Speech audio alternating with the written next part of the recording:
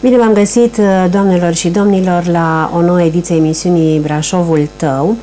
Astăzi uh, am ales să vorbim despre culori, despre emoție, uh, despre desenele copilăriei, despre bucurie, despre povești, povești desenate pe pereți. Ce o fi însemnând asta, o să aflăm astăzi de la invitata emisiunii noastre.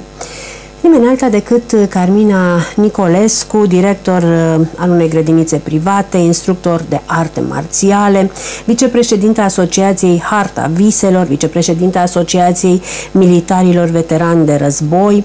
Uh, cred că încă aș putea să mai enumăr și alte activități în care este implicată Carmina, Carmina Nicolescu, dar Mă opresc aici și spun bun venit, bine ai venit Carmina la noi la emisiune.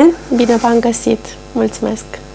Cu mare drag, uh, aș vrea să, uh, aș vrea să începem povestea Uh, povestea uh, desenată pe pereți de la o poveste uh, care a început în urmă cu șapte ani, respectiv în, în mai 2015, când tu a fost o poveste tristă la început, te-ai dus cu băiețelul tău la spital pentru că avea o problemă de sănătate. Și de aici firul să curgă și să auzim de la tine ce s-a întâmplat și ce, ce, ce a produs atunci acel moment în viața ta și în viața celorlalți. Da, în 2015 Andrei avea 13 ani și la Bacău, într-un accident, și-a fracturat mâna. Acolo, la spital, nu au prea știut ce să-i facă, doar i-au pus mâna în gips și ne-au uh, rugat să-l ducem lunia, era sâmbătă, să-l ducem lunia la Brașov pentru a decide medicii de aici dacă îl vor opera sau nu.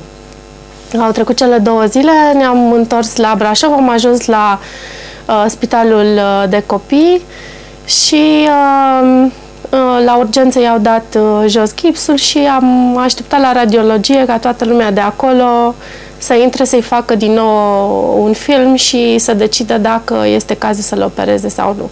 Și ai așteptat cam mult? Am așteptat foarte mult. Mi s-a părut o veșnicie, lui cred că și mai mult.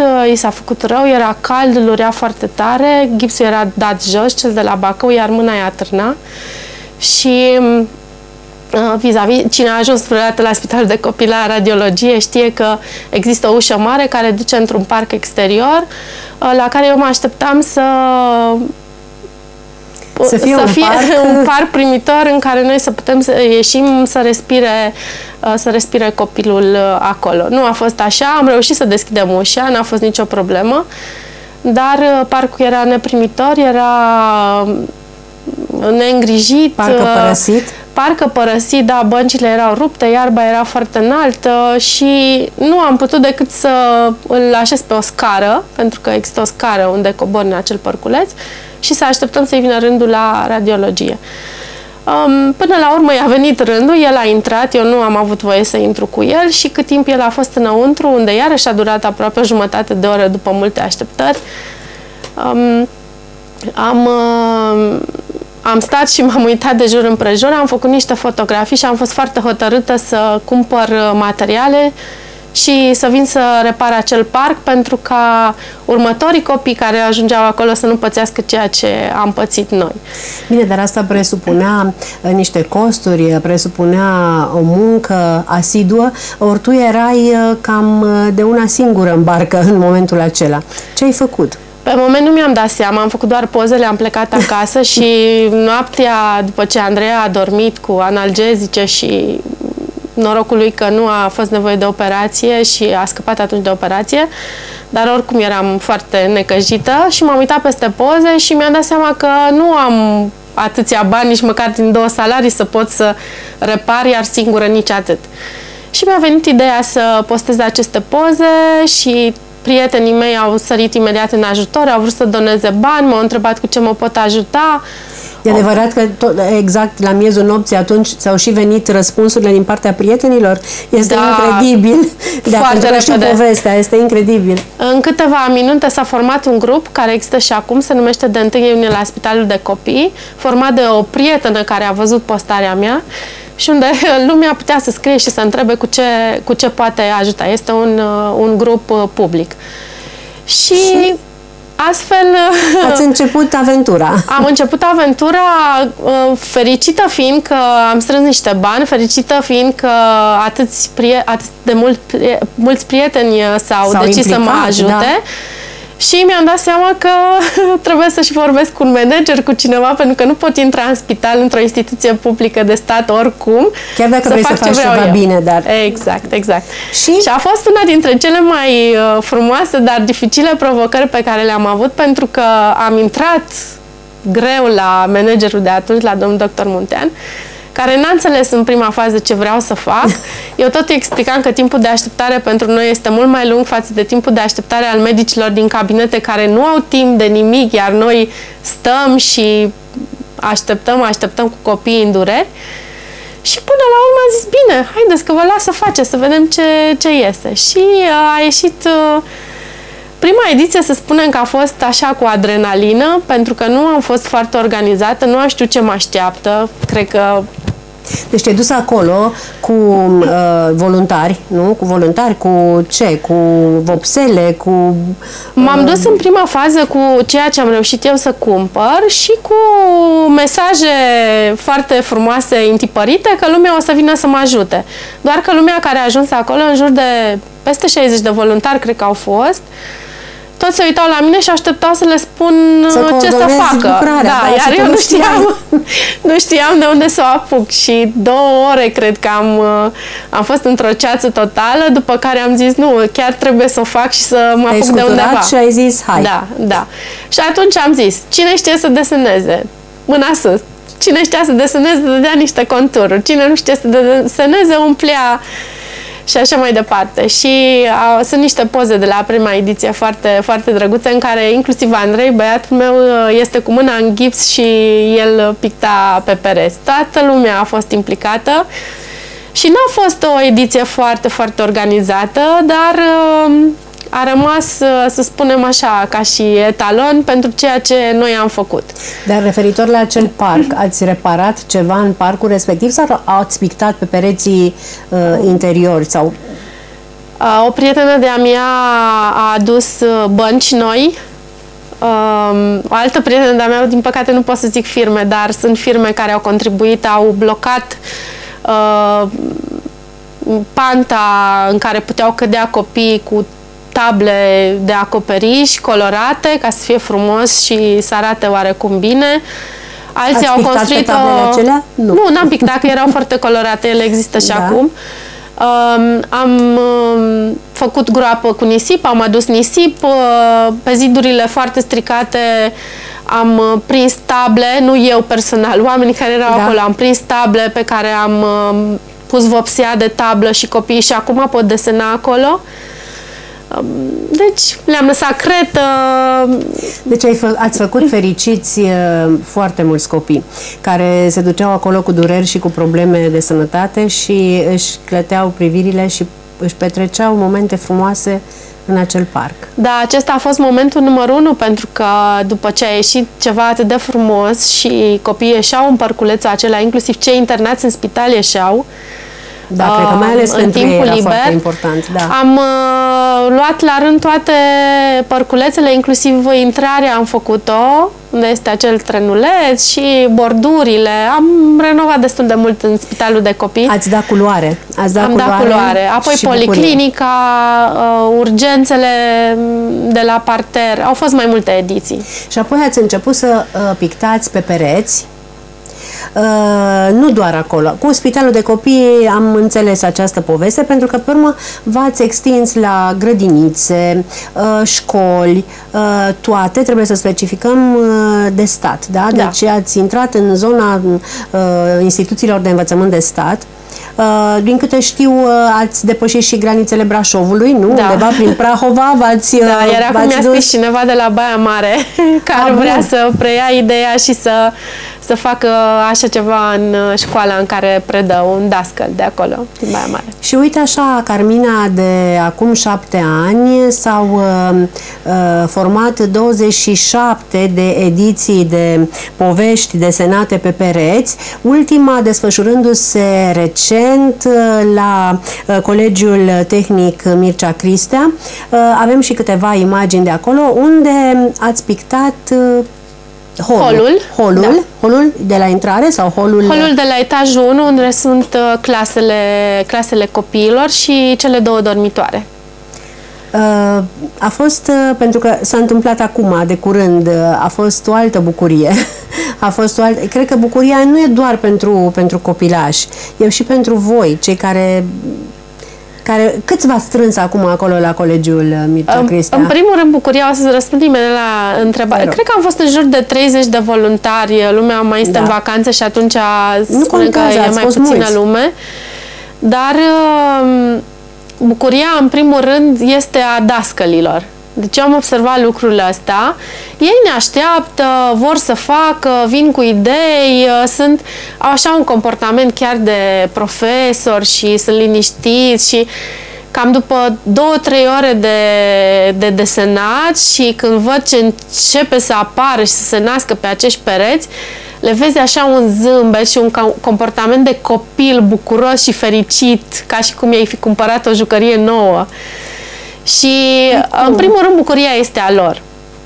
Noi nu mai realizăm atât de mult uh, pe moment cum este cu această bucurie și fericire, dar cam la o zi, două, după ce se termină, după ce se trece oboseala, că este o oboseală crâncenă în ziua evenimentului, și răsfoim uh, fotografiile și filmările pe care le facem, ne dă seama ce lucru mare am făcut, dar mai ales când mă uit, eu personal când mă uit la poze de înainte și după. Asta este important. Vezi ceva alb și pe urmă vezi o poveste frumoasă. Și vezi uh, cum albul a prins viață. Păi dacă vorbim despre răsfoitul acesta în gândurile tale, haide să răsfoim uh, uh, imaginile dintr-un material uh, pe care l-am pregătit, un material scurt, tocmai de acolo acolo de la, de la Colegiul Tehnic Mircea Cristea, uh, ceea ce s-a întâmplat uh, recent, uh, acolo unde poveștile pe pereți au devenit bucurie, emoție, fericire și unde la anul, când la anul școlar care urmează, în septembrie, în septembrie da. toate acestea vor reprezenta mirarea, bucuria și, și satisfacția copiilor și a dascălilor, bineînțeles. Sunt dascăli care filmează sau înregistrează cuvintele copiilor sau îi filmează când uh, intră la primul și impact. văd la primul impact și nu ai cum să nu plângi. Deci e o emoție extraordinară. Haideți să urmărim materialul după care revenim.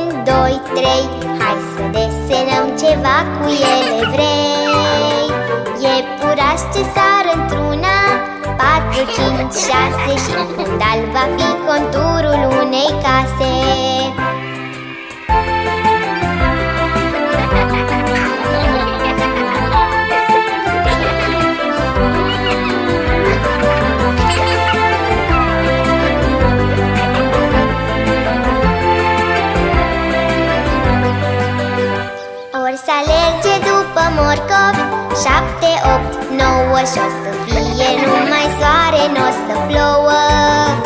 Iar o pasăre drăguță Nota zece da Pentru acest desen simpatic ne va da.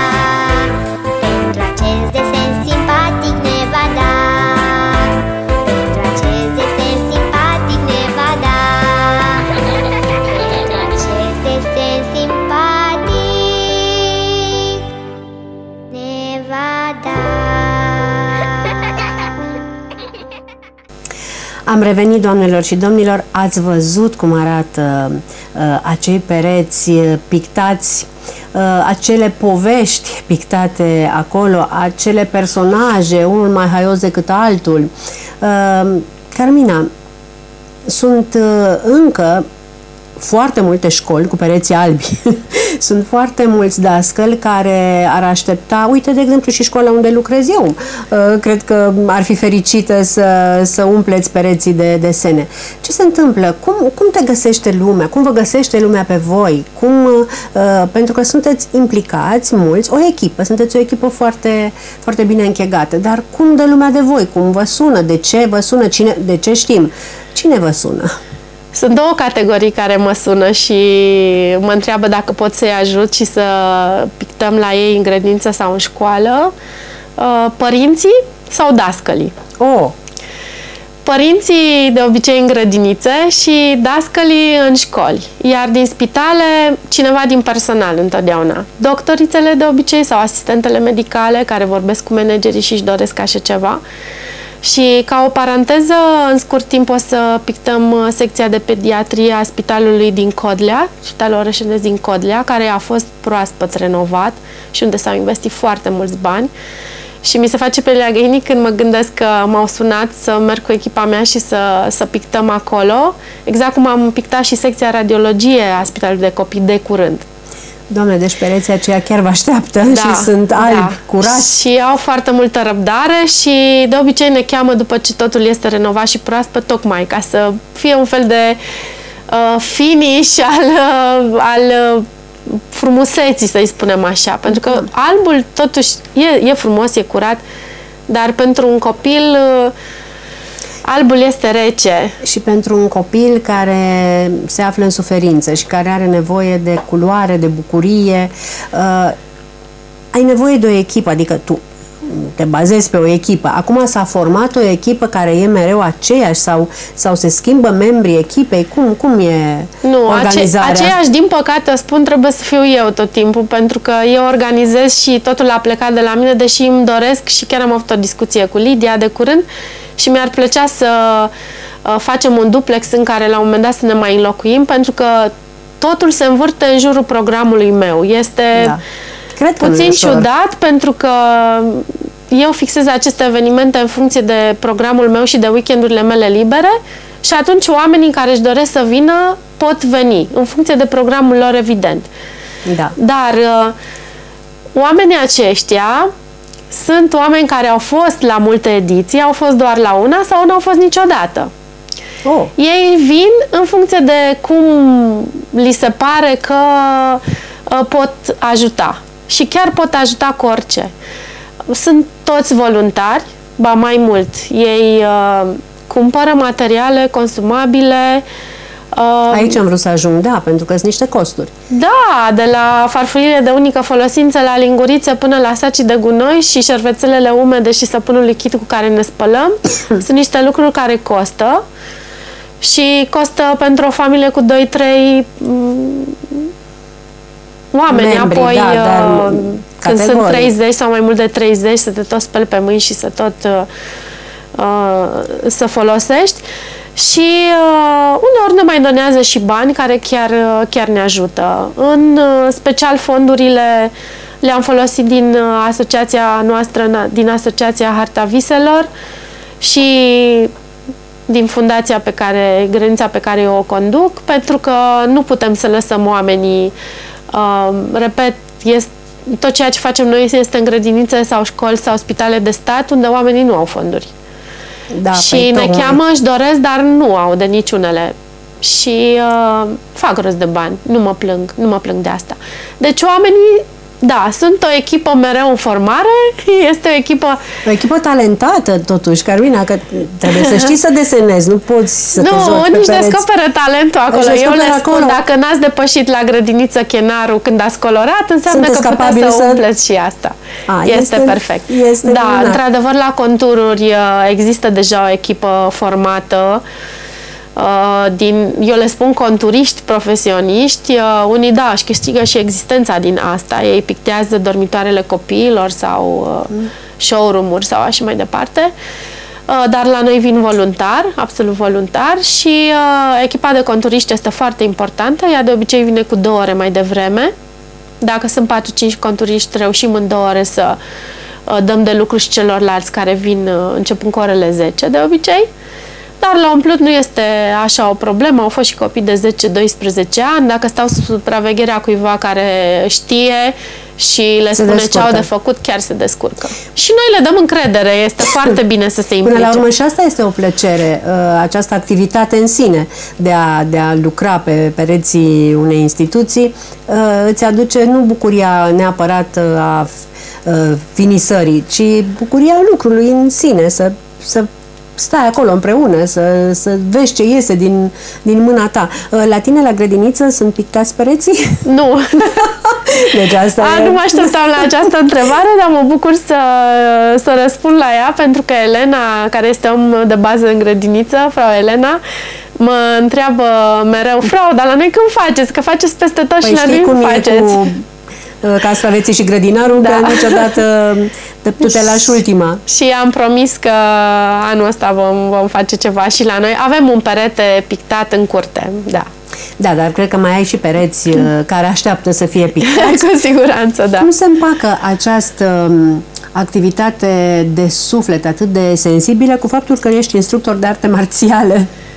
Păi și acolo lucrez cu copii. Cred că nici nu contează meseria da. pe care o ai și artele marțiale nu sunt dure, sunt doar... Uh, așa par. Așa par, da. da. O artă marțială este o cale prin care uh, să spunem, poți să înveți cum să răzbești în viață puțin altfel, fără să stea mama și tata lângă tine tot timpul. Cum să te descurci. Cum să te descurci Să te descurci singur. Da. da, și cred că și activitatea asta pe care, pe care o faci tu îi ajută pe, pe copii, pe dascăli să aibă mai multă încredere în... E, e mare lucru să te duci la un loc de muncă unde ți se bucură privirea de când intri, unde nu e nimic anost, unde este totul um, culoare, bucurie. Acum mă bucur că ai deschis acest subiect, pentru că la Colegiul Mircea Cristea, de exemplu, Uh, am pictat holul și urmează și casa scării, nu am apucat să terminăm și doamnele când au văzut ce frumos, doamnele uh, învățătoare de acolo, când au văzut ce frumos a ieșit totul, au zis, păi vrem și noi ceva în clasă și acum le-am promis că în momentul când ne reîntoarcem pentru casa scării o să facem câte ceva și în clasele lor. Deja și-au scos idei și abia așteptăm să le facem și în clase. Da, deci uh, cam asta este mersul. Deci Dascălii se bucură primii, exact cum am spus și evident copiii după. Eu m-aș bucura să iasă și pe holurile școlii uh, doar, dacă nu vor să iasă afară, dar măcar să iasă din clasă, să se să alerge și să se relaxeze puțin în pauze. Dacă ar fi să mă gândesc uh, așa aventuros la ceva, uh, mi-a trezit acum o idee cam ciudată prin cap. eu cred că aș desena și exteriorul școlilor și grădinițelor. Am văzut, am văzut în Germania o astfel de grădiniță Uh, efectiv nu mi-a venit să cred cât de frumos arăta. Bine, nu știu asta cu... Am făcut și exterior. Ai făcut și exterior. Da. Bun, deci am nimerit-o fără să știu. Am făcut uh, la Vulcan ceva, dar cea mai mare realizare a mea în exterior și a echipei de la Slon, din județul Prahova, este o comună, comună, sper să nu greșesc, în județul Prahova, unde o mână de oameni m-au chemat acolo, o asociație, nici măcar nu erau dascălii de acolo, ei aveau școala în construcție pe interior și pe exterior, efectiv pe schele, am urcat și s-a desenat pe pereții exteriori foarte la frumos. o scară foarte mare. Deci corpul uman era undeva de 5 ori cât mine, să spunem. Deci sunteți minunați. Îți mulțumesc, uh, îți mulțumesc Carmina, pentru, pentru acest dialog de suflet, de emoție, pentru că uh, nu are cum să nu fie altfel. Tot ce faceți voi este este un mod de a aduce uh, fericire în sufletele copiilor, adulților, în sufletele oamenilor. Uh, spor la treabă în continuare, Mulțumim. abia aștept să vedem și alte, alte instituții colorate în povești frumoase. Uh, doamnelor și domnilor, crezând că v-am adus și dumneavoastră puțină culoare astăzi așa sufletească, uh, vă mulțumesc pentru atenția cu care sperăm că ne-ați urmărit. Sunt Irina Palade, toate cele bune până data viitoare. La revedere!